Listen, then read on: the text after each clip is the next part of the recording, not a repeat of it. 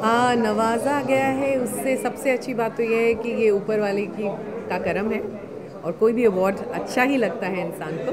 So thank you so much global Mumbai thank you so much jury कि उन्होंने मेरा नाम सजेस्ट किया।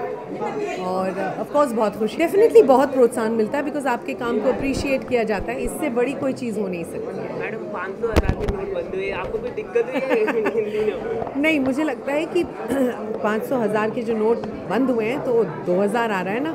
तो इसलिए एक पुरानी चीज़ गई तो एक नई चीज़ आ रही है। तो डरने की कोई ज़रूरत नहीं है।